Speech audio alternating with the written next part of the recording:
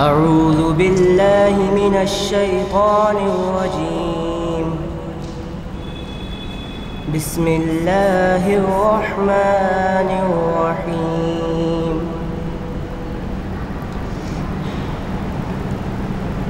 ضرب الله مثلا للذين كفروا امرأة نوح وامرأة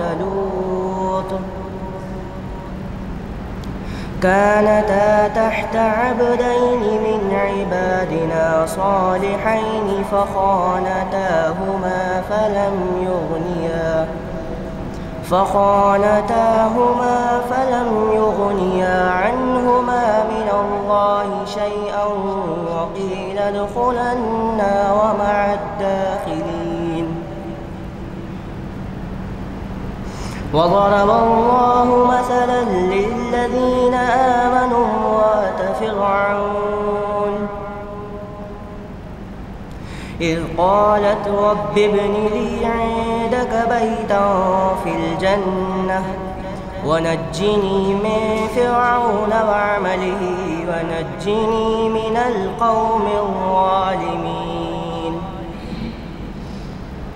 ومريم ابنة عمران التي أحصنت فرجها فنفخنا فيه من روحنا.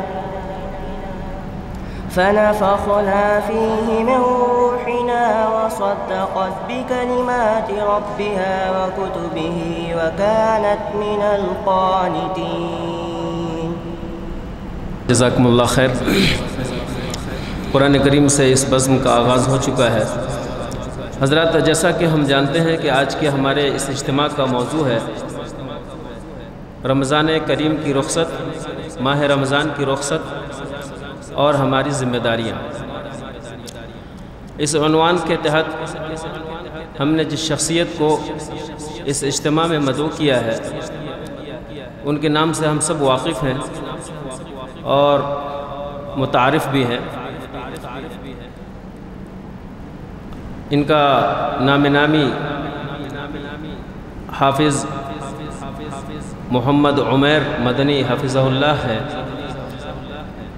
اور یہ جامعہ ریاض العلوم جامعہ ریاض العلوم جامع مسجد کے استاد ہیں۔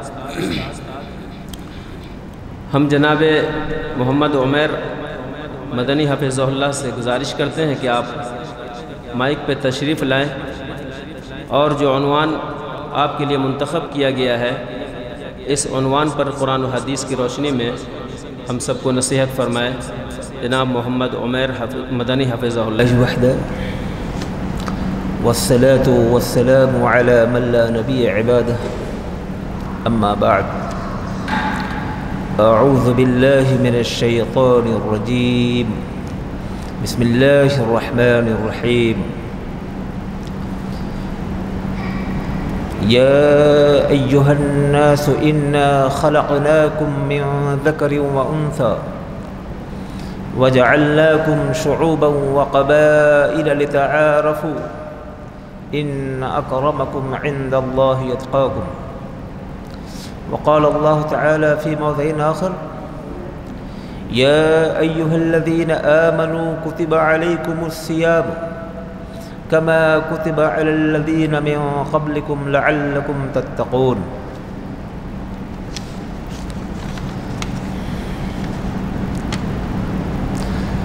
محترم علماء کرام، اور آج کے اس اہم اجلاس میں تشریف فرما ہمارے بزرگان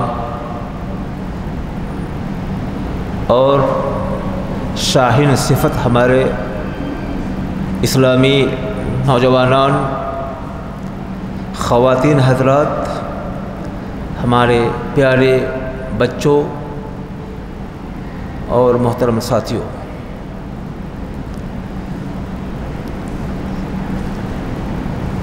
بلا شبہ ساری خوبیاں اور بڑائیاں اسی مالک کائنات کے لیے ہے، جس نے ہمیں اور آپ کو عدم سے وجود بخشا اور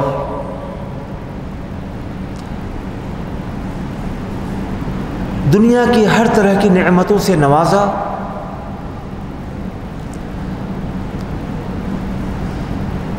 خدا کی بے شمار رحمت نازل ہوں۔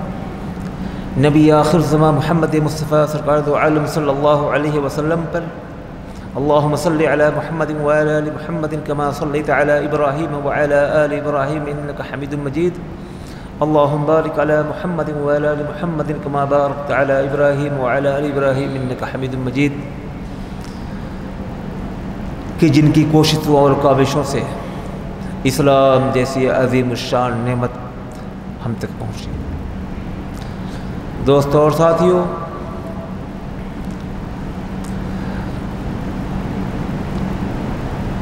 قبل اس کے کہ میں اپنے موضوع کی طرف آؤں، مناسب سمجھتا ہوں کہ کچھ تمہیدی گفتگو کی جائے۔ اس تمہیدی گفتگو کے اندر ہم سب سے پہلے انسان کے مقام کو بتانا چاہیں گے۔ دوستوں اور ساتھیوں اس پوری کائنات پر جب آپ غور و خوص کریں گے، جماعتات، نباتات، سمندر، آسمان، زمین اور تمام مخلوقات، جب آپ غور کریں گے تو آپ پائیں گے کہ ان تمام مخلوقات میں سب سے اہم ترین مخلوق، سب سے افضل ترین مخلوق، سب سے اعلیٰ اور برتر مخلوق، سب سے عزت والا مخلوق، تمام مخلوقوں کا سردار انسان کو اللہ تعالیٰ نے بنایا۔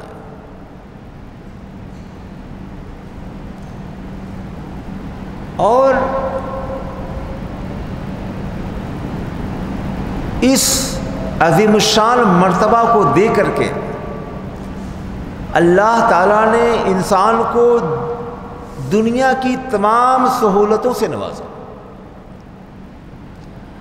آسمان کی تخلیق اللہ نے انسان کے لیے کی۔ چھت ہے آپ کے لیے۔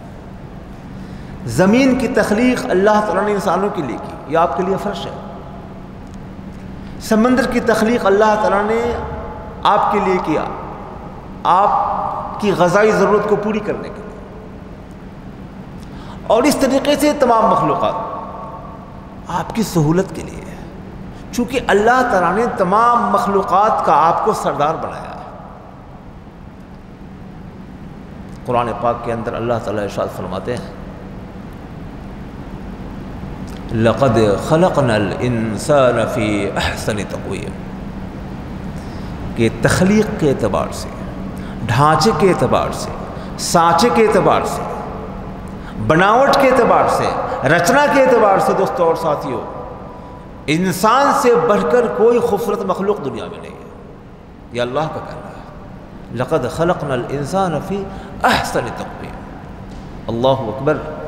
میرے دوستوں اور ساتھیوں محترم، سامعین اکرام، محترم بھائیوں خواتین حضرات، آپ اللہ کی نعمتوں کا جتنا بھی شکر ادا کریں کم ہے۔ اس لیے کہ اللہ نے آپ کو تمام مخلوقات میں سب سے سب سے افضل ترین مخلوق قرار دیا۔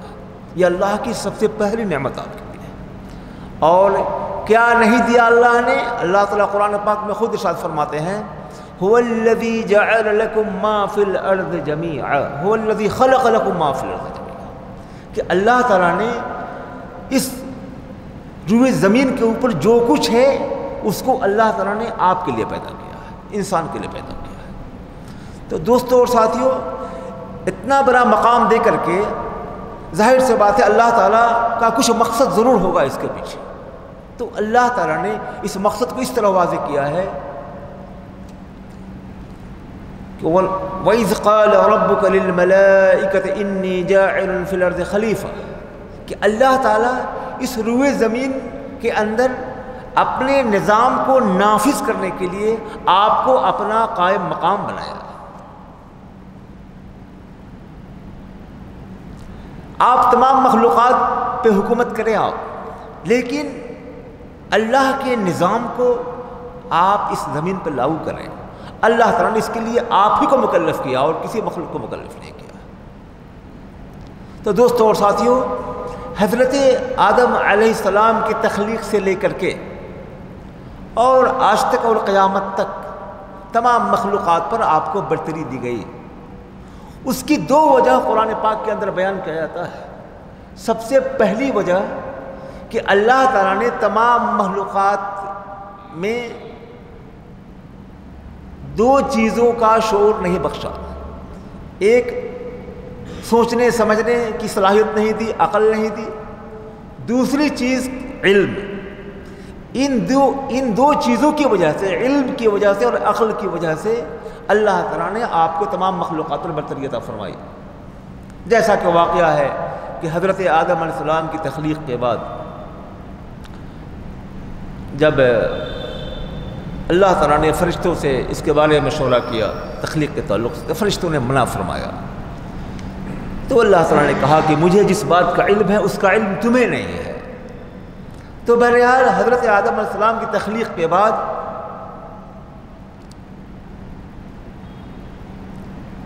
اللہ تعالیٰ نے حضرت آدم علیہ السلام کے سامنے فرشتوں کو پیش فرمایا۔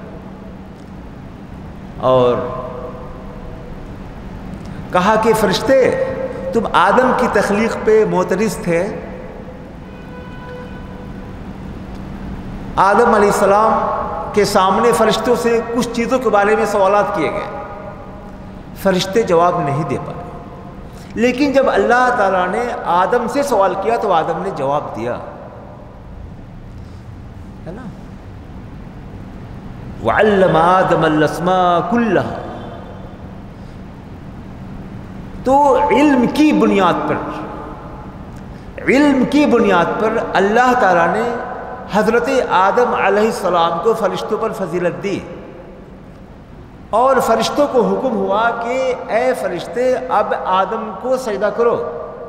تو فرشتوں نے اللہ کے حکم کی تعمیل کرتے ہوئے حضرت آدم علیہ السلام کو سجدہ کیا۔ یہ انسان کی عظمت کی انتہا تھی کہ فرشتوں نے آدم کو سجدہ کیا۔ دوستوں اور ساتھیوں یہ علم کی بنیاد پر یہ کام ہوا۔ اس آیت پر غور کرنے کے بعد اس بات کا پتہ چلتا ہے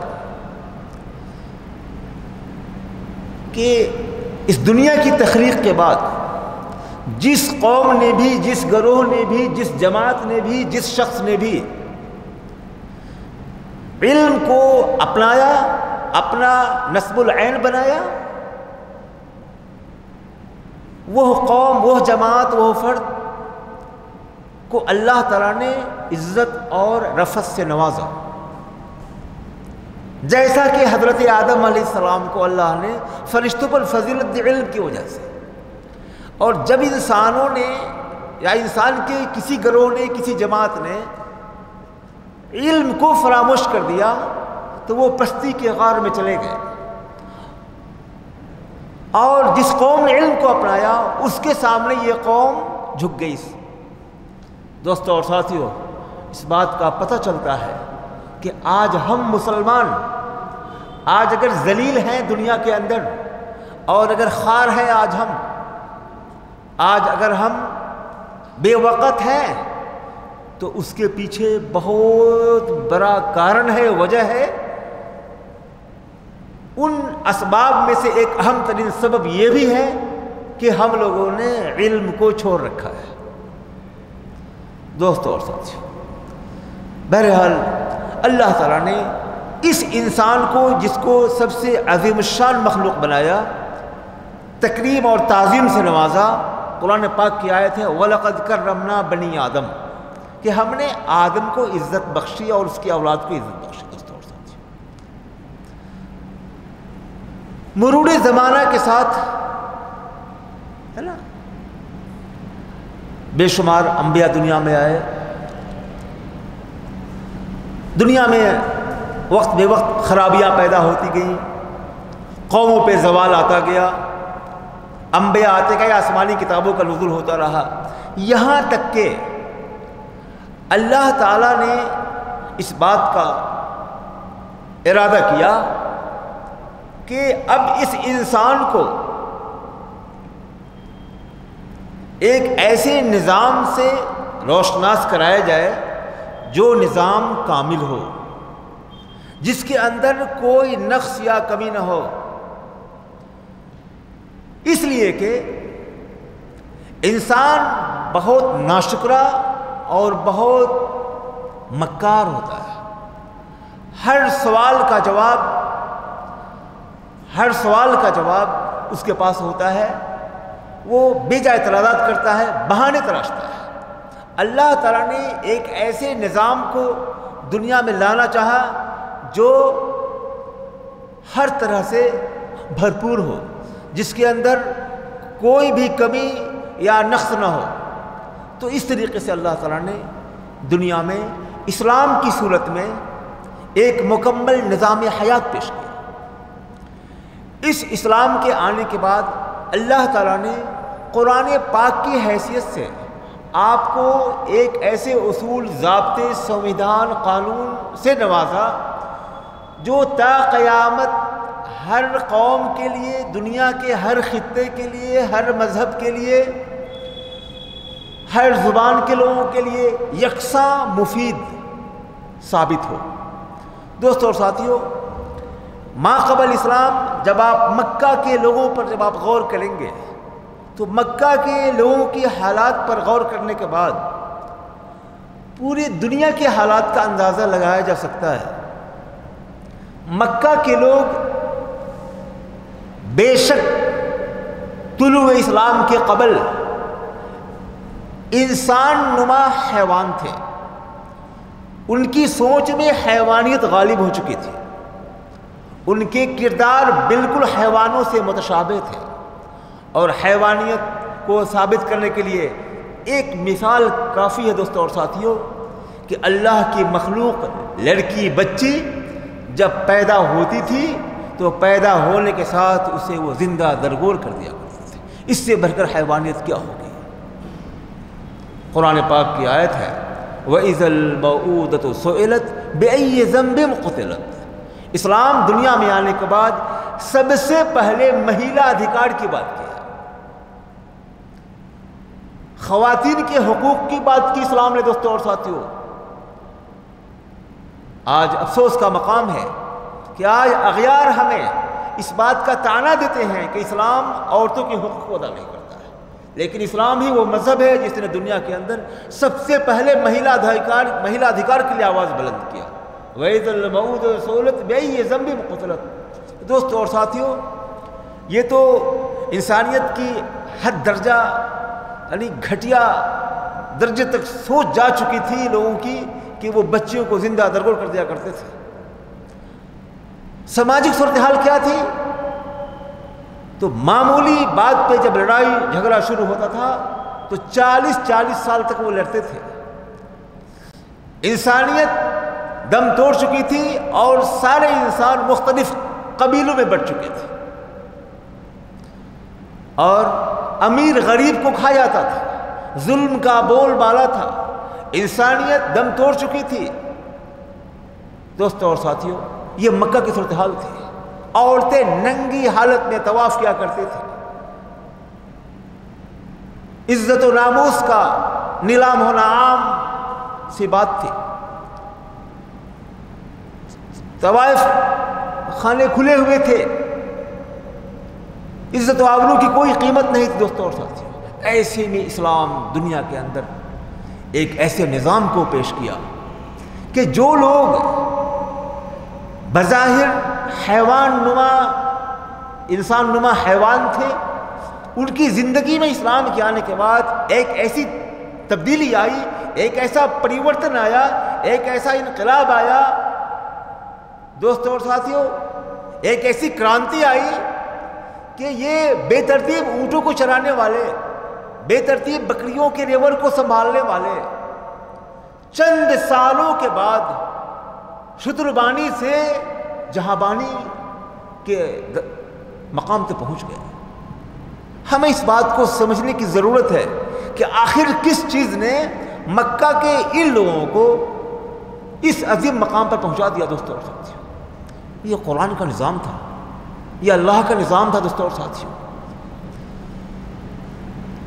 اسلام کے آنے کے بعد اسلام نے انسانیت کی فلاح کے لیے، انسانیت کے وکاس کے لیے مانو مانو رہے دانو نہ بن جائے۔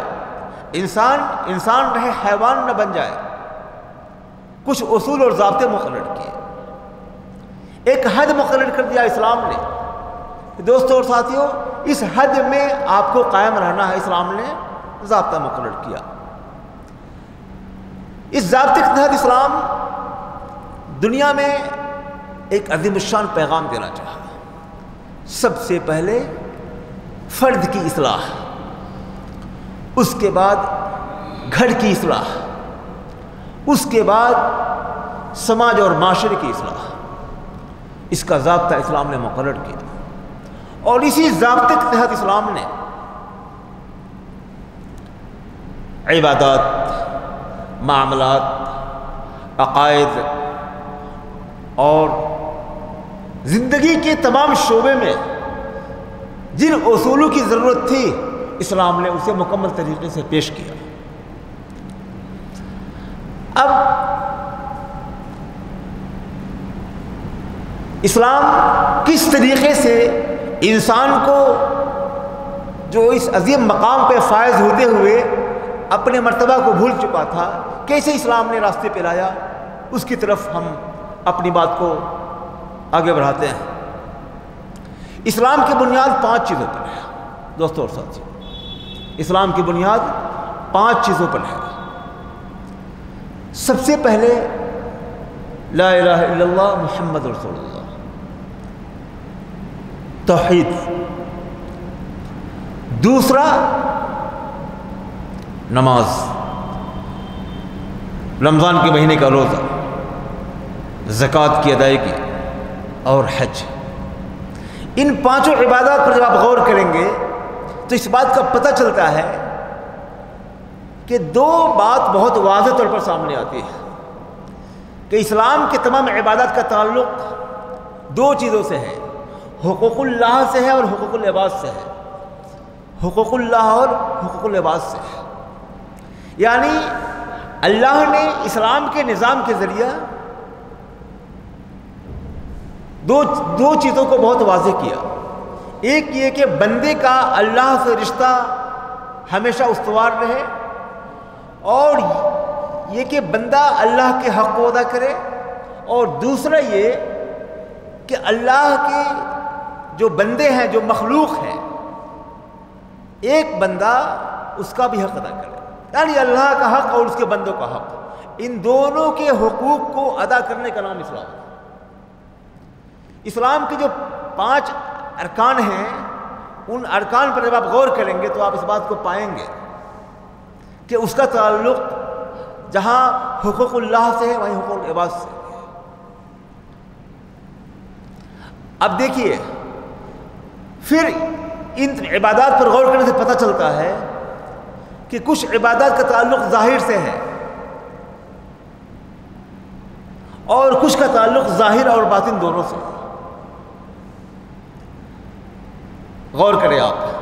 جب ایک مسلمان جب کہتا ہے لا الہ الا اللہ محمد رسول اللہ، جب کلمہ کا اقرار کرتا ہے، تو جو شخص جو سامنے ہوتا ہے، اس کو اس بات کا پتہ چلتا ہے کہ یہ آدمی مسلمان ہے۔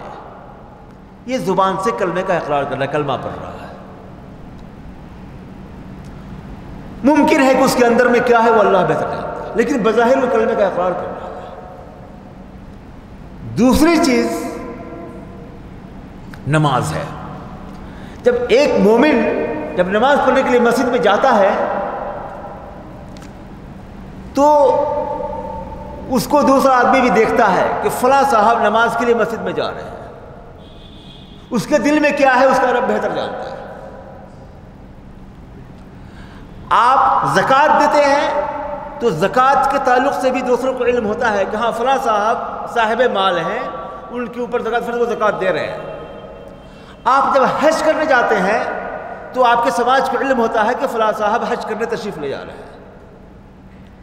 لیکن جب آپ رمضان کے مہینے کا روزہ رکھتے ہیں، اس کا علم کسی کو نہیں ہوتا۔ ہے اس کا علم صرف آپ کو اور آپ کے رب کو ہوتا ہے۔ میں ابھی ایک ہی پہلو پہ غور کر رہا ہوں۔ میں بتا رہا ہوں آپ کو۔ کہ تمام عبادت کا تعلق آپ سے اور آپ کے رب سے ہے۔ چونکہ آج کے خطاب کا موضوع ہی وہ رمضان کے بعد ہمیں کیا کرنا چاہیے اس سے۔ تو رمضان کے مہینے میں ہم روزہ رکھتے ہیں یا نہیں رکھتے ہیں، اس کا علم ہمارے سماج کو نہیں ہوتا ہے۔ اس کا علم صرف اللہ کو ہے۔ تمام عبادت کا تعلق جسمانی ہے۔ بظاہر جسمانی تعلقات ہیں۔ آپ کلمہ پڑھتے ہیں زبان سے، آپ کی زبان ہلتی ہے، لوگ دیکھتے ہیں۔ نماز پڑھتے ہیں، آپ ارکان ادا کرتے ہیں، لوگ دیکھتے ہیں۔ حج میں طواف کرتے ہیں، آپ کنکڑی مارتے قربانی کرتے دنیا دیکھتی ہے۔ زکوٰۃ دیتے ہیں، پیسے گنتے ہیں، دنیا دیکھتی ہے۔ آپ کا اندراج ہوتا ہے ہر جگہ۔ لیکن رمضان کے مہینے میں جب آپ روزہ رکھتے ہیں، تو اس کا صحیح اندازہ کسی کو نہیں ہے کہ آپ روزے سے ہیں یا آپ روز جیسے ہیں۔ اس کا اندازہ صرف اللہ کو ہے۔ میں یہ بتانا چاہ رہا ہوں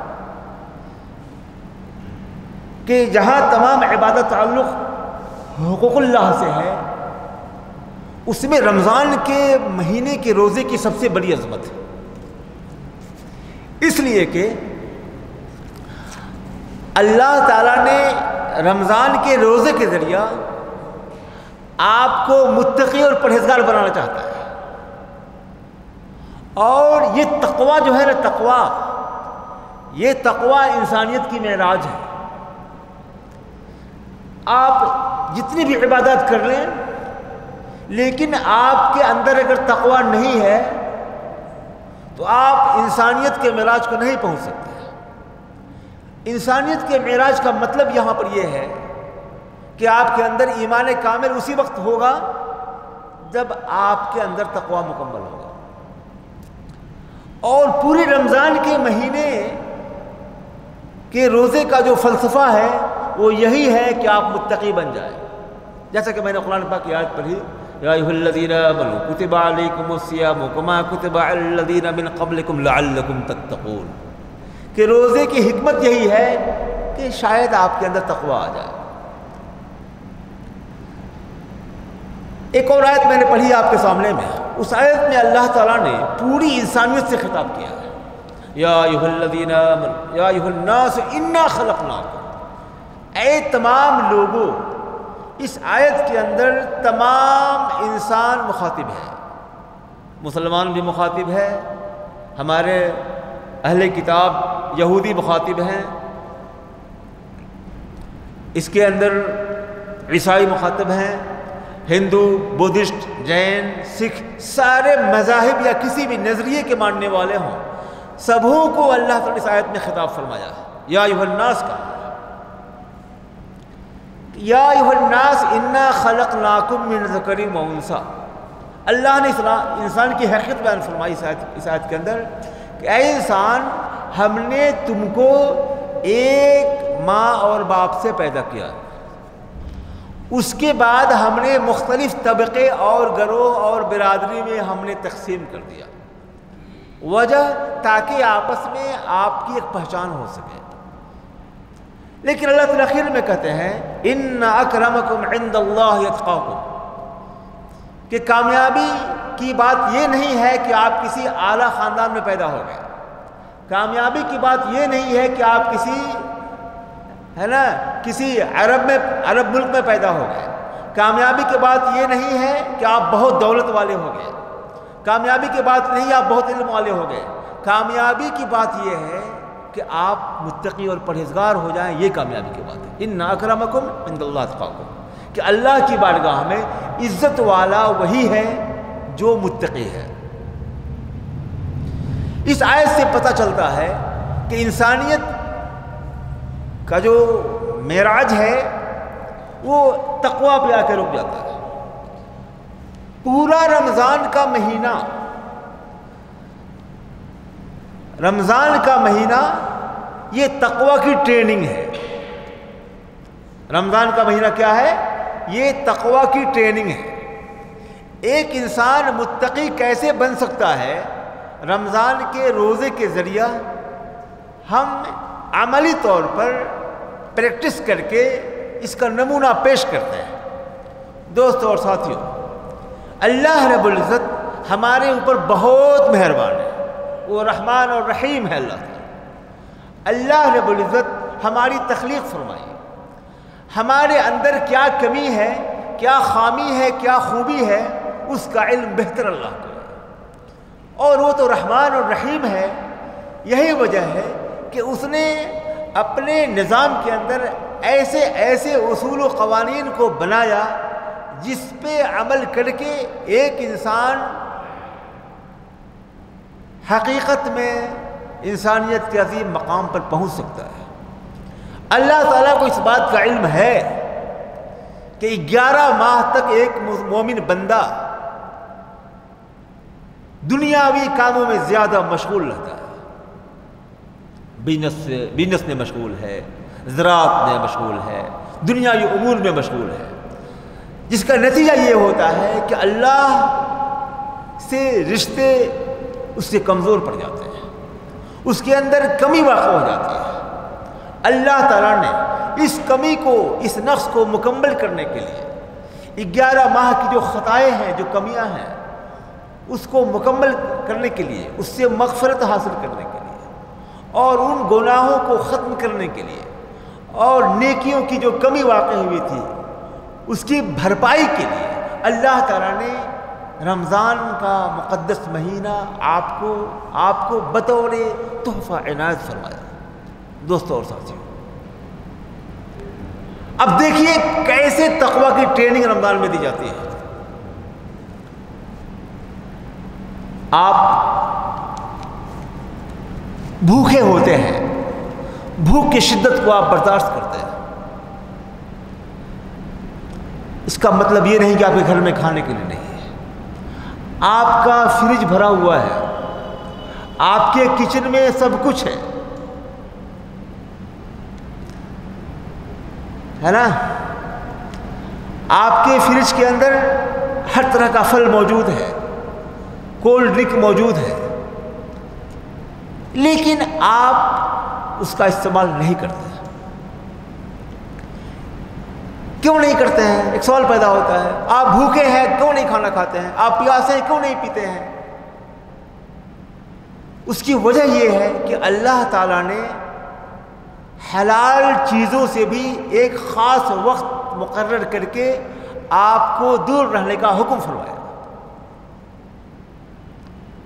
غروب آفتاب تک آپ کو نہیں کھانا۔ ہے ہم اس لیے نہیں کھاتے ہیں کہ اللہ نے حکم دیا ہے نہیں کھانے کا۔ تو اللہ کے حکم کی تعمیل کرتے ہوئے اللہ کی رضا اور خوشنودی کے لیے ہم جائز چیزوں سے پرہیز کرتے ہیں، یہی تقوا ہے۔ یہی تو تقوا ہے۔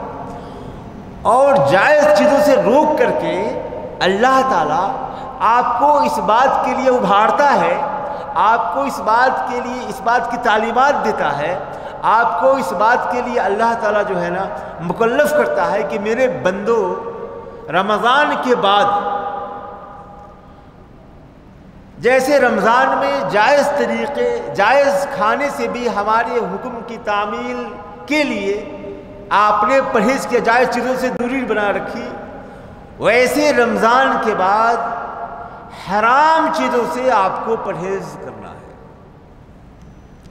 اس لیے کہ رکنا، اپنے آپ کو روک کر رکھنا سوم کا یہی معنی ہے۔ کتب علیکم السیام کیا مطلب ہے؟ سوم کا مطلب ہے کہ اپنے آپ کو روک کر رکھنا۔ عربی لفظ ہے یہ۔ فرسن سو، فرسن سومن ایسے گھوڑے کو عربی میں کہتے ہیں جس گھوڑے کو میدان جنگ میں استعمال کرنے کے پہلے ٹریننگ دی جاتی ہے۔ اس کو کھانا تھوڑا کم دیا جاتا ہے۔ اس سے اس کی چربی کم ہوتی ہے اور وہ سڈول اور بہت ہی چست اور درست ہو جاتا ہے۔ اس کو کھانے پینے میں کچھ کمی دے کر کے اس کو جنگ کے لیے تیار کیا جاتا ہے۔ چونکہ آپ کے نظام میں اگر تبدیلی نہیں واقع ہوتی ہے، تو آپ کے اندر کوئی انقلاب نہیں آ سکتا۔ تو جیسے جانور کے کھانے کو روک کر کے اس کے اندر تحریک لانے کے لیے اس کام کو کیا گیا، ویسے ہی اللہ تعالیٰ آپ کے روزمرہ کے نظام کو بریک دے کر کے آپ کے اندر اللہ تعالیٰ انقلاب چاہتا ہے۔ اس انقلاب کے ذریعے اللہ تعالیٰ آپ کو متقل اور پرہیزگار بنانا چاہتا ہے۔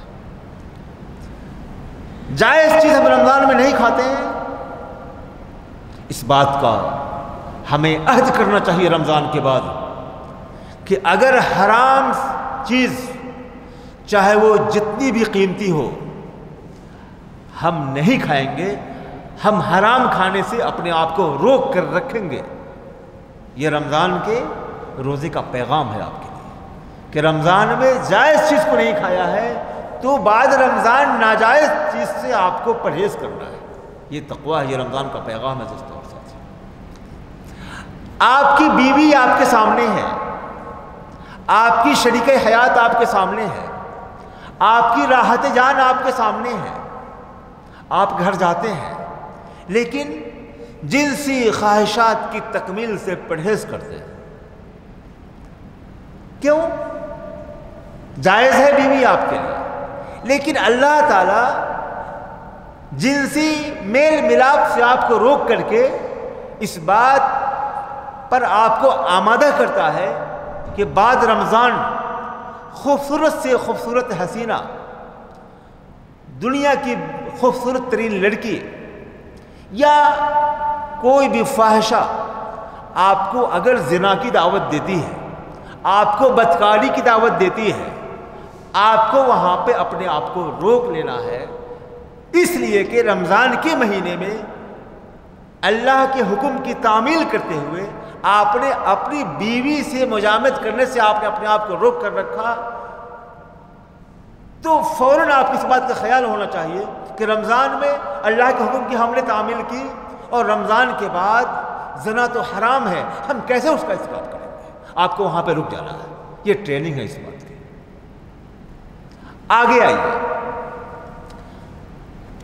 عام دنوں میں آپ جو چاہتے ہیں، بکتے ہیں، بولتے ہیں ہنسی ہے، مذاق ہے۔ زندگی بے ہنگم ہوتی ہے، کسی بھی بات کا آپ کو پاس و لحاظ نہیں ہوتا۔ آپ کے اندر شعور نہیں ہوتا ہے، ہم کیا کر رہے ہیں، کیا بول رہے ہیں۔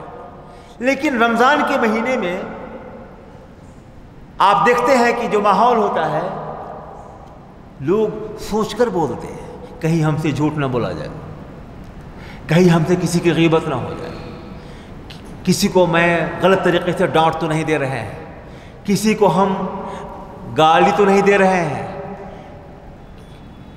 دوست اور ساتھیوں کسی کو اپنی زبان سے تکلیف تو نہیں پہنچا رہے ہیں۔ ان سب چیزوں کا شور رمضان میں ہمارے اندر ہوتا ہے۔ کیا ان چیزوں کا شور صرف رمضان ہی کے لیے ہے یا رمضان تک کے لیے ہے؟ نہیں۔ رمضان کے مہینے میں زبان پہ کنٹرول کر کے، زبان کو روک کر کے اللہ رب العزت آپ کو اس بات کے اوپر آمادہ کرتا ہے کہ گیارہ ماہ تک آپ کو اپنے زبان پہ کنٹرول رکھنا ہے۔ گالیاں نہیں دینی ہے۔ کسی سے جھگڑا نہیں کرنا ہے۔ لڑائی نہیں کرنی ہے۔ کسی پہ کسی کو تانا نہیں دینا ہے۔ زبان سے کوئی بھی ایسی بات نہیں نکالنی ہے جس سے ایک انسان یا ایک مسلمان کو تکلیف ہو اور جس سے اللہ اس کے رسول ناراض ہو۔ یہ رمضان کا مہینہ آپ سے تقاضے کرتا ہے کہ رمضان کے بعد بھی آپ اس پر عمل کریں۔ افسوس کا مقام ہے ہمارے دوستوں اور ساتھیوں، عید کا چاند نکلنے کے بعد، جیسے عید کا چاند ہم دیکھتے ہیں، ویسے ہی ہمارے اندر پتہ نہیں، وہی پرانی رفتار بے ڈھنگی جو پہلے ہوتی تھی، وہ آ جاتی ہے۔ اسی رات سے لوگ جو ہے نا، سب سے پہلا تو یہ کام اللہ ماشاء اللہ جہاں مسجدیں بھری ہوتی تھیں، عید کی رات میں فجر کی نماز غائب، اور مسجدیں دھیرے دھیرے خالی ہو جاتی ہیں۔ رمضان کے مہینے میں مسجدوں کا پیٹ بھرتا ہے۔ دوستوں اور ساتھیوں اللہ کی رضا آپ حاصل کرتے ہیں، لیکن رمضان کے خاتمے کے ساتھ مسجدوں میں حاضری کم ہونے لگتی ہے۔ کیا آپ نے کیا سمجھ رکھا ہے؟ کیا اسلام کے احکامات جو ہیں، وہ کیا سیزنل ہیں؟ یا کسی خاص مہینے کے لیے ہیں؟ نہیں۔ اسلام کا پیغام، اسلام کے احکامات آفاقی ہیں، عالمگیر ہے ہر روز کے لیے ہے زندگی کے تمام گوشوں کے لیے ہے زندگی کے ہر شعبے کے لیے اور ہمیشہ کے لیے۔ تو رمضان کے مہینے میں جس طریقے سے آپ کے اندر رغبت پائی جاتی تھی، وہی رغبت، وہی حوصلہ، وہی چاہت ہمیں عام دنوں بھی ہونی چاہیے تھی، صبر۔ صبر۔ رمضان کے مہینے میں ہمارے اندر قوت برداشت پیدا ہو جاتی ہے ہم برداشت کر لیتے ہیں۔ کوئی جھگڑنا بھی چاہتا ہے نا، تو ہم اس کو اگنور کرتے ہیں، کہتے ہیں نہیں، میرا روزہ خراب ہو جائے گا۔ کوئی گالیاں دیتا ہے تو ہم برداشت کر لیتے ہیں، صبر کرتے ہیں۔ جہاں ہم گناہوں سے بچتے ہیں، وہی ہم ایسے اشخاص سے بھی پرہیز کرتے ہیں جو شیطان صفت ہوتے ہیں۔ جس جس سے الجھنے کے بعد آپ کے دین و ایمان کو خطرہ ہو، ہم ایسے لوگوں سے پرہیز کرتے ہیں۔ ہم غصہ پہ قابو پاتے ہیں رمضان کے مہینے میں۔ ہم مشتعل نہیں ہوتے ہیں رمضان۔ ہم اپنے آپ کو کنٹرول میں برداشت کرتے ہیں۔ صبر کا مادہ جانتے ہیں۔ ایک ایسا مادہ ہے انسان کے اندر کہ جس کے اندر پیدا ہو جائے، انشاءاللہ دنیا اور دونوں جگہ کامیاب ہو جائے گا۔ ایک آدمی آپ کو گالی دینے پہ آمادہ ہے، لیکن آپ اس کو گالی نہیں دے رہے۔ یہ صبر ہے۔ اس نے اپنی عاقبت خراب کی، آپ نے دین و دنیا دونوں بنا لیا۔ ایک آپ کو مارنے پہ تلا ہوا ہے، لیکن آپ پرہیز کر رہے ہیں، بچنا چاہ رہے ہیں۔ اس نے اپنے آپ کو ہلاکت میں ڈالا اور آپ انشاءاللہ آپ خوش بخت ہیں آپ، انشاءاللہ۔ ایک آپ کے ناموس پہ حملہ ور ہے، لیکن آپ صبر کر رہے ہیں تو رمضان کے مہینے کے اندر جو صبر کی ٹریننگ دی جاتی ہے، وہ اس بات کا غماز ہے اس کے تقاضے ہوتے ہیں کہ رمضان کے مہینے کے بعد بھی آپ زندگی کے کسی بھی شعبے میں صبر کے دامن کو کبھی نہ چھوڑیں۔ چاہے خوبصہ سے آپ کا سامنا ہو یا شیاطین سے ہو آپ کو پرہیز رکھنا ہے۔ یہ مومن کی شان ہے صبر، مومن کی صفت ہے صابر و شاکر ہونا دوستوں یہ رمضان کے مہینے کے اندر صبر کی ٹریننگ آپ کے گیارہ مہینے تک صابر بنانے کے لیے۔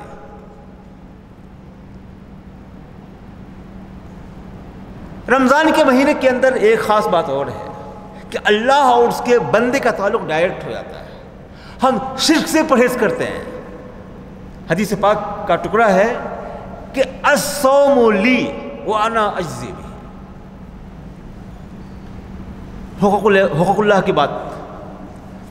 یعنی تمام عبادات تو اللہ کے لیے ہے ہی۔ لیکن چونکہ اللہ اور بندے کے درمیان روزے کا خاص تعلق ہے، تو اللہ تعالیٰ کہتے ہیں کہ میرے بندے نے اسوم لی یعنی کھانا چھوڑا میرے لیے، پینا چھوڑا میرے لیے، بھوک برداشت کی میرے لیے۔ ہے نا؟ اور ان تمام دنیاوی آرائش و آشائش سے پرہیز کیا میرے لیے۔ اس بات کا پتہ چلتا ہے کہ جب آپ رمضان کے اندر عبادات کے جن حصوں کو، جن قسموں کو انجام دیتے ہیں، آپ کی نیت میں اللہ ہی کی رضا ہوتی ہے، وہ صرف اللہ کے لیے۔ تو کیا رمضان کے بعد ہم اپنی عبادات کا کچھ حصہ کیا غیر اللہ کے لیے کرنا کیا جائز سمجھتے ہیں کیا؟ نہیں۔ جیسے رمضان میں ہر عبادت کو آپ نے اللہ کے لیے پیش کیا ہے، ویسے ہی غیر رمضان میں تمام عبادت کو اللہ کے لیے پیش کر دی لیکن بہت افسوس کا مقام ہے کہ رمضان کے بعد ہم مسلمانوں میں شرک بھی پایا جاتا ہے۔ رمضان میں ہم سر جھکاتے ہیں تو صرف اللہ کی بارگاہ میں۔ لیکن بعد رمضان افسوس کا مقام ہے کہ یہ ہمارا یہ جبین نیاز کہیں اور ہو جاتا ہے۔ ہے نا؟ پتہ نہیں، اللہ پر یقین صرف رمضان میں ہوتا ہے، اللہ اور رمضان کے بعد اللہ پر ہمارا یقین نہیں رہ جاتا ہے۔ رمضان میں ہم ہر چیز اللہ سے طلب کرتے ہیں، لیکن رمضان کے بعد ہم غیر اللہ سے طلب کرتے ہیں۔ رمضان ہمیں اس بات کی ٹریننگ دیتا ہے کہ صرف اور صرف اللہ سے ہی ہر چیزوں کا مطالبہ کرنا ہے دوستوں اور ساتھی تمام عبادات خواہ و نفل ہو یا فرائض ان تمام عبادات کو صرف اللہ کی رضا کے لیے بجا لانا کچھ بھی نہیں، جائز نہیں ہے آپ کے لیے سمجھ السوم لی۔ تو جب رمضان کے روزے اللہ کے لیے، تو تمام عبادات بھی اللہ کے لیے۔ ہے نا؟ توکل یعنی بھروسہ۔ ہم رمضان بھی اللہ پہ مکمل بھروسہ کرتے ہیں۔ رمضان بعد غیر اللہ پہ بھروسہ کرتے ہیں۔ ہم کبھی کبھی تعویذ پہ بھروسہ کرتے ہیں۔ ہم کبھی کبھی کسی درگاہ پہ چلے جاتے ہیں۔ ہم کبھی کبھی کچھ ایسے اعمال کا ارتکاب کرتے ہیں جس کا اسلام نے اجازت نہیں دی ہے۔ میرے دوستوں اور ساتھیوں، ہم رمضان میں صرف ایک اللہ ہی پر عقیدہ رکھتے ہیں۔ رمضان کے بعد ہماری عقائد میں غیر اللہ آ جاتے ہیں۔ میرے دوستوں، ایک بات یاد رکھنا۔ رمضان کا مہینہ آپ کو اور آپ کے عقید توحید کو مضبوط کرنے کا مہینہ ہے۔ اس لیے کہ آپ کو اس بات کا اعتقاد اور یقین ہوتا ہے کہ رمضان میں اگر ہم کچھ کھا پی لیں گے اللہ ہمیں دیکھ رہا ہے، اللہ ناراض ہو جائے گا۔ اس بات کا عقیدہ ہے کہ اللہ آپ کو دیکھ رہا ہے۔ اللہ کے محاسبے میں آپ ہیں ہر ہر وقت۔ یہ آپ کا عقیدہ ہوتا ہے۔ تو کیا جو اللہ آپ کو دیکھ رہا ہے، جو آپ کی فریاد کو سن رہا ہے، کیا وہ اللہ آپ کی مدد نہیں کر سکتا ہے کیا؟ وہ اللہ کیا آپ کی حاجت کو پوری نہیں کر سکتا ہے کیا؟ کیا اللہ آپ کی ضرورت کو تکمیل، ضرورتوں کی تکمیل نہیں کر سکتا ہے کیا؟ کیا اللہ آپ کی پریشانیوں سے ناواقف ہے کیا؟ نہیں۔ وہ تو سب کچھ جان رہا ہے، اس سے کوئی بھی دنیا کی کوئی بھی چیز مخفی نہیں ہے۔ اس کو ہر بات کا علم ہے۔ انہو بکل شیء علیم۔ اس کو ہر چیز کا علم ہے، ذرے کا علم ہے۔ اور قدرت انہو علی کل شیء قدیر۔ ہر چیز کے اوپر قادر ہے، وہی شکتی شالی ہے، وہی شکتیمان ہے۔ وہ سپر ہی نہیں، وہ سپرم ہے۔ اس سے بڑھ کر کوئی بھی دنیا میں طاقت والا نہیں ہے۔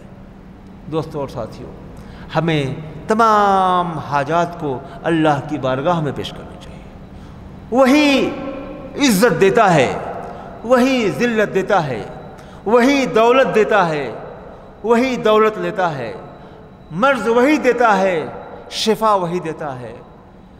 اور دوستوں اور ساتھیوں زندگی بھی وہی دیتا ہے، موت بھی وہی دیتا ہے، بیٹا بھی وہی دیتا ہے، بیٹی بھی وہی دیتا ہے۔ اور اولاد سے محروم بھی وہی کرتا ہے۔ دنیا میں کسی کو بھی اس بات کی طاقت نہیں ہے کہ اللہ اگر آپ کو بیٹا نہیں دینا چاہے تو کوئی بیٹا دے دے آپ کو، ایسا ممکن نہیں ہے۔ ممکن ہی نہیں ہے چیز۔ میرے دوستو رسول اکرم صلی اللہ علیہ وسلم سید القونین کا بیٹا بھی دنیا سے فوت ہو گیا۔ رسول اکرم صلی اللہ علیہ وسلم کا بیٹا بھی دنیا سے فوت ہو گیا۔ اللہ نے لے لیا۔ اور آج ہم لوگ کتنے بد نصیب ہیں کہ ان کے در پہ جا کر ہم بیٹا مانگتے ہیں، جس جن کے اندر اس بات کی بھی طاقت نہیں کہ وہ دنیا میں زندہ رہتے۔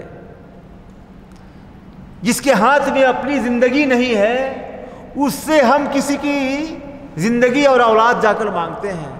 ہماری عقل کہاں چلے گی؟ میرے دوست اور ساتھیوں اگر ان کے اندر اولاد دینے کی صلاحیت ہوتی تو وہ دنیا میں زندہ رہتے نا۔ وہ تو خود حیات پہ قابو نہیں رکھ سکے اور موت کا مدہ چکھ لیے۔ میرے دوستوں اور ساتھیوں حضرت ابراہیم علیہ السلام، جس کے نام پہ آپ ہے، قربانی کرتے ہیں۔ ابراہیم خلیل اللہ، اس کا لقب صرف آپ کو ملا۔ اللہ کے نہایت ہی مقرب اور قریب بندے۔ اللہ نے آپ کو، ہے نا، فلک بوس شولے سے نجات دی۔ ہر جگہ اللہ نے آپ کی مدد فرمائی۔ لیکن ایک پہلو زندگی کا یہ بھی ہے، بوڑھے ہو گئے، بال میں سفیدی آ گئی، ضعیف العمری کو پہنچ گئے۔ بیٹا نہیں تھا آپ کے پاس۔ اللہ کی بارگاہ میں دعا کرتے ہیں، کہتے ہیں، رب حبلی من الصالحین. اے اللہ اے اللہ، مجھے نیک اولاد عطا فرما۔ ابراہیم خلیل اللہ اللہ سے مانگ رہے ہیں۔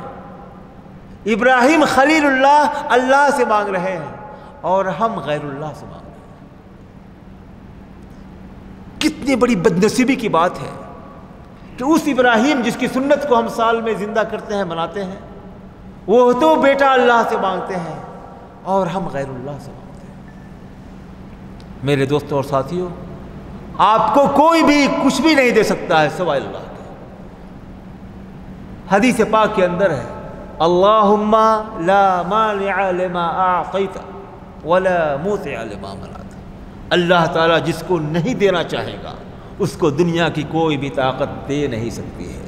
اور جسے اللہ تعالیٰ دے گا، اسے دنیا کی کوئی طاقت روک بھی نہیں سکتی۔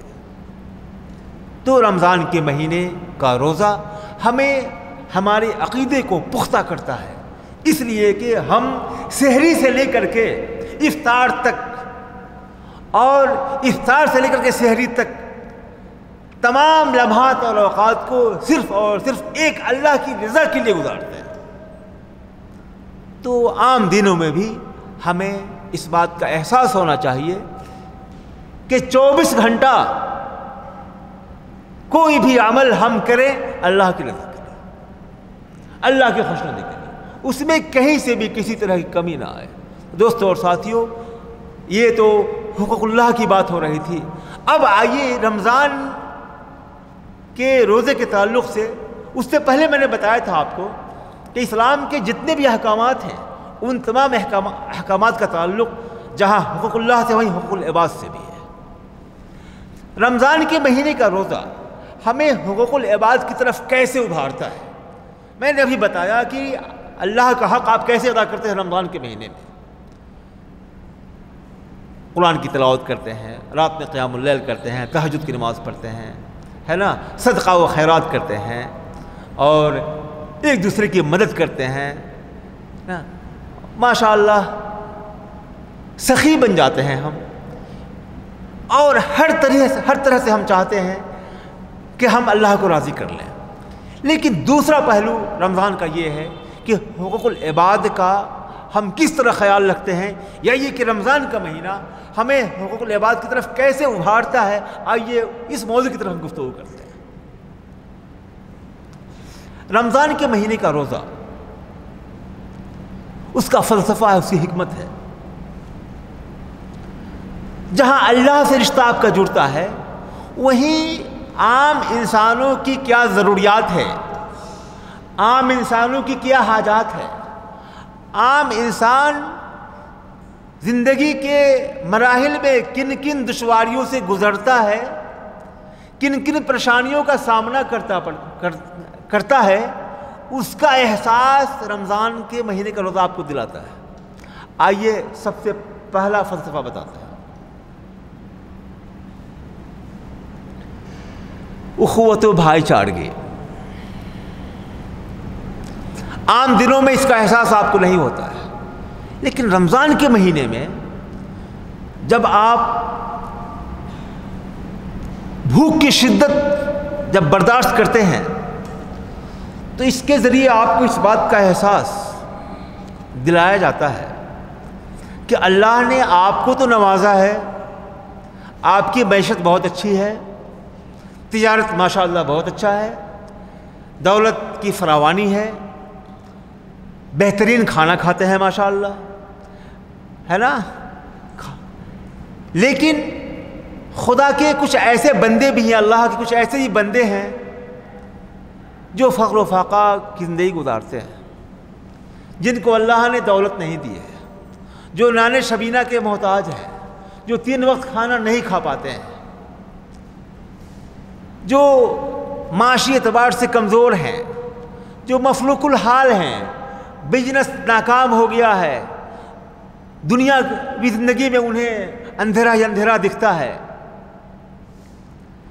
تو پیٹ کے بھوک کی شدت جو ہے، آپ کو اس بات کے اوپر ابھارتا ہے کہ جو فقرا جو مساکین ہیں، جو غریب ہیں، ان کو بھوک کی شدت کس قدر برداشت کرنی پڑتی ہوگی؟ تو رمضان کے مہینے کے روزے کے ذریعہ آپ کے دل میں اپنے ان بھائیوں کے لیے ایک جذبہ پیدا ہوتا ہے۔ ان بھائیوں کے لیے جو دولت سے محروم ہیں، ان بھائیوں کے لیے جن کے پاس پیسے نہیں ہیں۔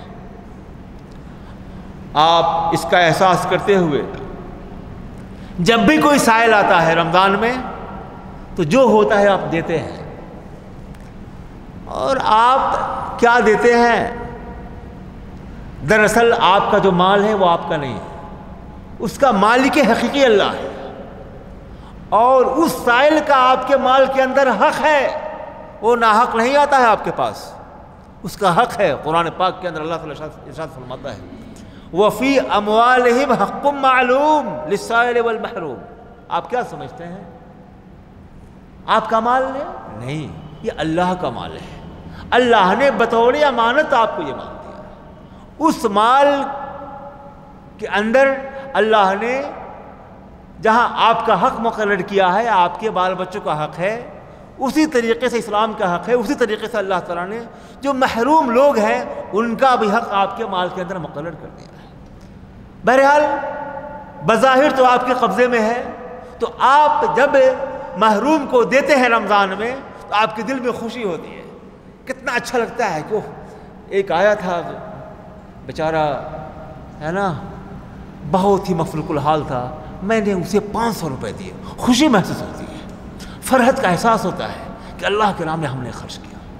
دوستوں اور ساتھیوں یہ جذبہ ہمیں رمضان کے بعد بھی برقرار رکھنا چاہیے۔ اس لیے کہ حقوق العباد کا آپ تقوا سے بڑا تعلق ہے۔ جہاں آپ اللہ کے حق کو ادا کر کے متقی اور پرہزگار بننا چاہتے ہیں، ویسے ہی آپ اللہ کے ان بندوں کا بھی حق ادا کریں جن کا حق آپ کے اوپر ہے۔ دوستوں اور ساتھیوں رمضان کے مہینے میں ہم پڑوسی کا خیال رکھتے ہیں۔ افطار جب ہمارے یہاں تیار ہوتا ہے تو خصوصاً ہم اہتمام کرتے ہیں کہ تھوڑا پڑوس کے ہاں بھیجتے ہیں یا محلے کے لوگوں کا ڈاٹا سامنے آ جاتا ہے کہ فلاں ہے نا، اس کی حالت ابھی اچھی نہیں چل رہی ہے۔ تھوڑا اس کے یہاں ہی بھجوا دو۔ اس کے یہاں بھجوا دو، وہ فلاں یتیم ہے، وہ فلاں بیوہ ہے۔ ہمیں احساس ہوتا ہے اس بات کا۔ اور ہم افطار کی خوشی میں اس کو شریک کرتے ہیں۔ یتیم کا خیال رکھتے ہیں۔ دوستوں اور ساتھیوں یہ جو آپ کے پاس جو لسٹ ہے اس کا ہمیشہ خیال رکھیں۔ گیارہ ماہ تک ان یتیموں کا آپ خیال رکھیں، ان بیواؤں کا خیال رکھیں، ان فقر اور مساکین کا خیال رکھیں۔ میرے دوستوں اور ساتھیوں، آپ کے احباب میں، آپ کے دوستوں میں، آپ کے جاننے والوں میں کوئی مقروض ہوتا ہے۔ قرض کی ادائی کا سامان اس کے پاس نہیں ہوتا ہے۔ آپ کو اس بات کا علم ہوتا ہے، رمضان کے مہینے میں آپ اس کی مالی مدد کرتے ہیں۔ اور خفیہ مدد بھی کرتے ہیں، کوئی جانے نہیں۔ ایسے اللہ کے بندے ہیں۔ اور آپ یعنی ظاہر و بات، ظاہری طور پر بھی اور کھلے عام یعنی باتی طور پر بھی آپ مدد کرتے ہیں، اپنے مال کو خرچ کرتے ہیں۔ دوستوں اور ساتھی یہ جذبہ رمضان کے بعد بھی ہونا چاہیے۔ اللہ تعالیٰ آپ کے مال میں کے اندر برکت ناز فرمائے گا۔ اس لیے کہ آپ کا یہ مال دراصل آپ کا نہیں ہے۔ آپ کے مال کا مالک حقیقی اللہ ہے۔ اگر اس مال کے اندر جو حق ہے جس کا حق ہے آپ اگر دیتے ہیں، اللہ اس مال کی حفاظت فرمائے گا اور اللہ آپ کی اس مال میں برکت دے گا اور اس قدر برکت دے گا کہ آپ اس کا احساس نہیں کر پائیں گے۔ دوست اور ساتھیوں يَتَّقِ اللَّهَ يَجْعَلْ لَهُ مَخْرَجًا وَيَرْزُقْهُ مِنْ حَيْثُ لَا يَحْتَسِبْ۔ ہم پریشان حال ہوتے ہیں، معیشت کی تلاش ہم کرتے ہیں۔ میرے دوستوں اور ساتھیوں آپ اللہ کا حق ادا کرو، اس کے بندوں کا حق ادا کرو دوستوں اور ساتھیوں اللہ تعالی آپ کے لیے ایسے ایسے راستے کھول دے گا، آپ کی تجارت کو اتنا آگے اللہ لے جائے گا، ایسے ایسے راستے کھولے گا کہ آپ اس کا احساس نہیں ہوگا اور آپ کے مال میں زبردست اضافہ ہو جائے گا۔ آپ کا لاکھ کروڑ تک پہنچ جائے گا، کروڑ آپ کا کروڑوں میں اربوں تک پہنچ جائے گا یہ اللہ کا وعدہ ہے۔ کہ اللہ کا جو حق ادا کرتا ہے، اللہ تعالیٰ اس کے جان کی بھی حفاظت کرتا ہے، اس کے مال کی بھی حفاظت کرتا ہے، اللہ تعالیٰ اس کے عزت و آبرو کی بھی حفاظت کرتا ہے۔ میرے دوستوں اور ساتھیوں، ایک زندہ واقعہ میں بیان کرتا ہوں، مال کی بات آ رہی ہے۔ ڈاکٹر سید عبدالحفیظ سلفی رحمۃ اللہ علیہ جماعت کے بہت بڑے عالم دین گزرے ہیں۔ دربھنگا میں بہت بڑا ادارہ ان کا ہے، دینی، دنیاوی دارالحمد سلفیہ دربھنگا اور سینکڑوں ادارہ انہوں نے قائم کیا۔ جمعیت کے بھی امیر رہے، مسلم پرسل بورڈ کے یہ رہے۔ اور نہایت ہی خدا ترس انسان تھے وہ، پیشے تھے وہ، ڈاکٹر تھے۔ ان کے پاس کئی پیٹرول پمپ تھا۔ ایک بار کا واقعہ ہے کہ ان کے پیٹرول پمپ سے متصل ایک مارکیٹ ہے، وہاں آگ کا حادثہ ہوا۔ یہ حسب معمول اپنے کلینک میں بیٹھے علاج کر رہے تھے۔ کسی نے آ کر کہا کہ حضرت پیٹرول پمپ کے پاس آگ کا حادثہ ہوا ہے۔ سنی سنی کوئی دھیان نہیں دیے اور اپنا علاج کر رہے ہیں۔ دو بار، تیسری بار اس نے جب آپ کو کہا تو آپ نے فرمایا، چلو یہاں سے تم جاؤ، میں پابندی سے زکوٰۃ نکالتا ہوں۔ میں پابندی سے زکوٰۃ نکالتا ہوں اپنے مال کے مجھے اللہ کی ذات سے امید ہے کہ میرا پیٹرول پمپ محفوظ رہے گا۔ اور بے نہیں ایسا ہی ہوا۔ پورا مارکیٹ جل گیا پیٹرول پمپ کو کچھ بھی نہیں۔ یہ اللہ کا وعدہ ہے کہ آپ اگر آپ کے مال کے اندر جو حقوق ہیں، اس کو اگر آپ ادا کرتے ہیں، آپ کے مال کے اللہ حفاظت فرمائے گا انشاءاللہ۔ اللہ کا وعدہ ہے، سمجھ رہے ہم جھوٹے ہو سکتے ہیں، اللہ جھوٹا نہیں ہوگا۔ تو رمضان کے مہینے کے اندر جو جذبہ ہمارے اندر ہوتا ہے، خلوص کا جذبہ، انسانیت کی ہمدردی کا جذبہ، وہ جذبہ دوستوں اور ساتھیوں رمضان کا تقاضا ہے کہ وہ بعد میں بھی ہمارے اندر برقرار رہے دوستوں اور ساتھیوں اس لیے کہ یہ کوئی موسمی یا کوئی سیزنل جذبہ نہیں ہونا چاہیے ہمارے اندر۔ دوستوں اور ساتھیوں بہت افسوس کا مقام ہے کہ رمضان کے خاتمے کے ساتھ یہ جذبہ ہمارے اندر سے مفقود ہو جاتا ہے۔ ایسا نہیں ہونا چاہیے۔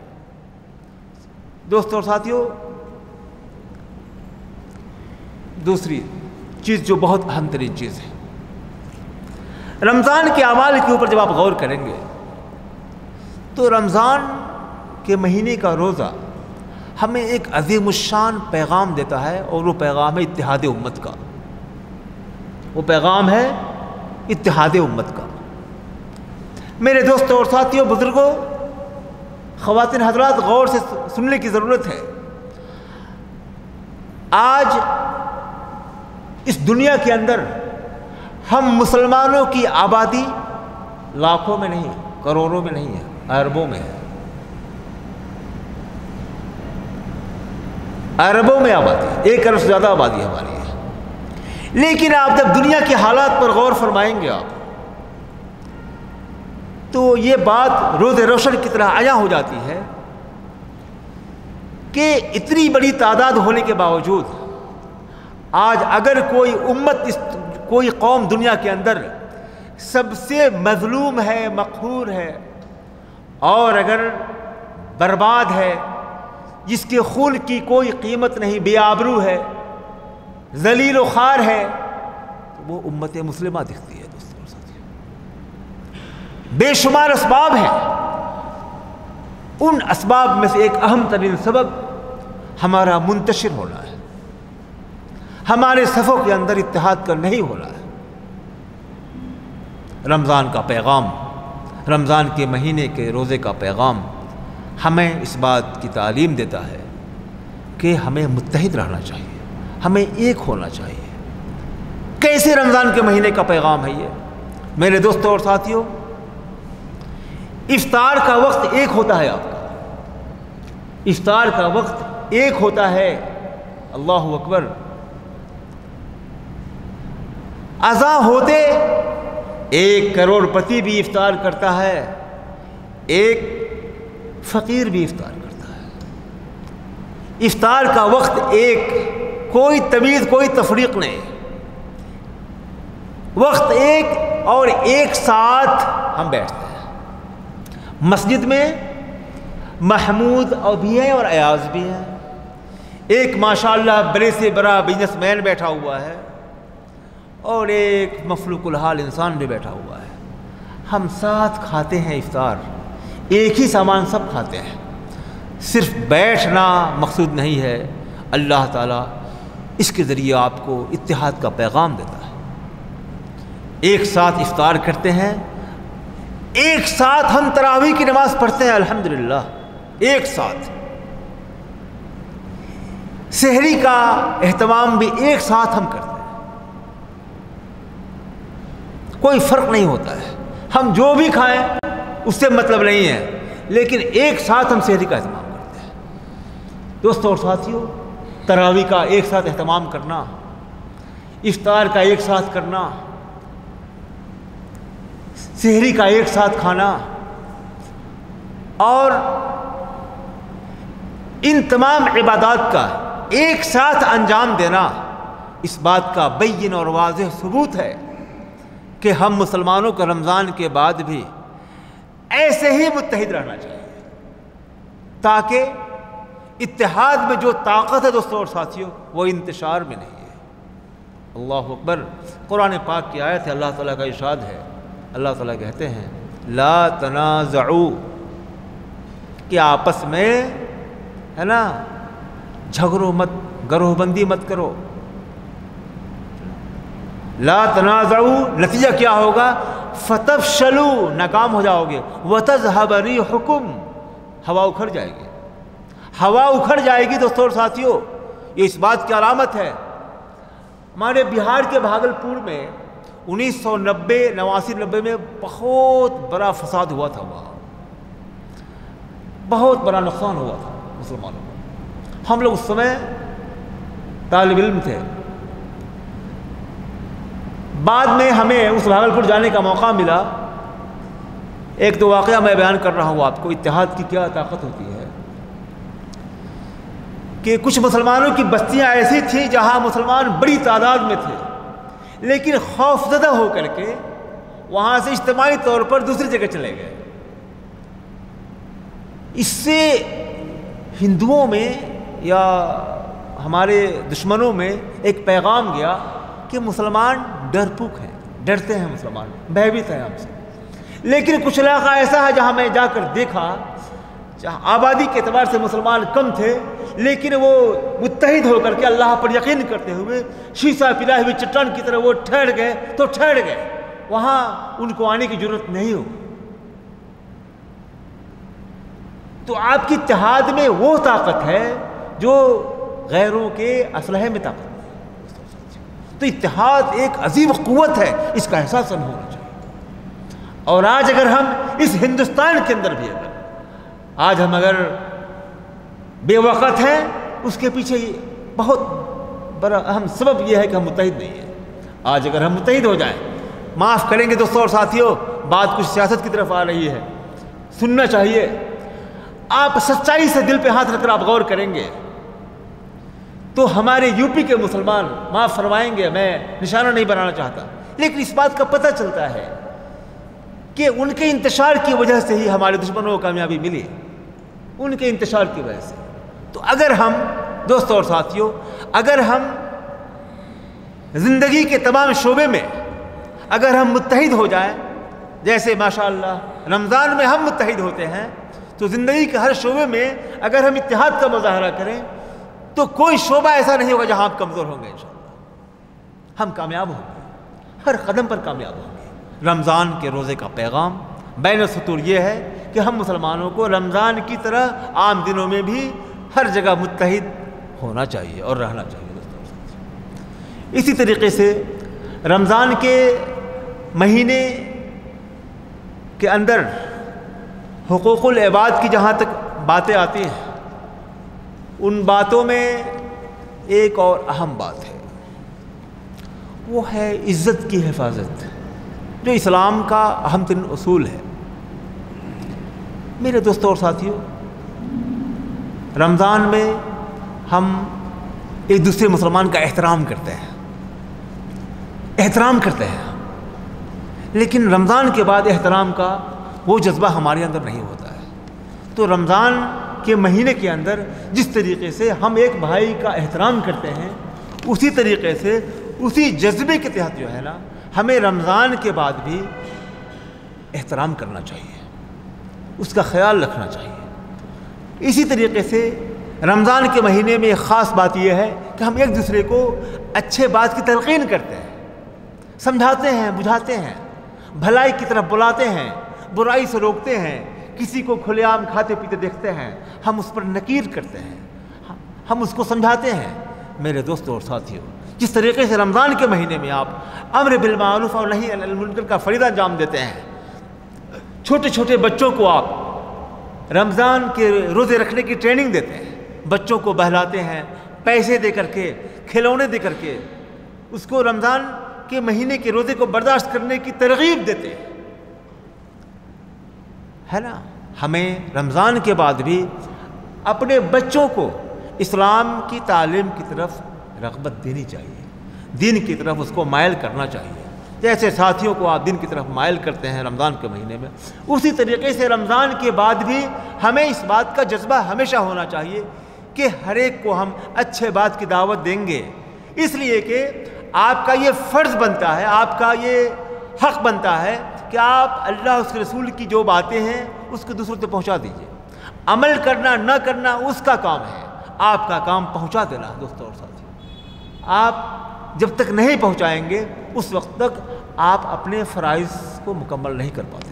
تو دوستوں ساتھیوں یہ کچھ باتیں تھیں جو رمضان کے اندر اور رمضان کے بعد ہمیں جو کرنے کی تھی، جو میں نے آپ کے سامنے اللہ کی توفیق سے میں نے بیان کیا۔ اللہ تعالیٰ سے دعا گو ہے کہ اللہ رب العزت ہم تمام مسلمانوں کو مرد ہو یا عورت ہو، امیر ہو یا غریب ہو، علماء ہو یا عوام ہو، اللہ تعالیٰ کے حکام اور فرامین پر عمل کرنے کی توفیق عطا فرمائے۔ واخر دعوانا ان الحمد للہ رب العالمین۔ والسلام علیکم ورحمۃ اللہ وبرکاتہ۔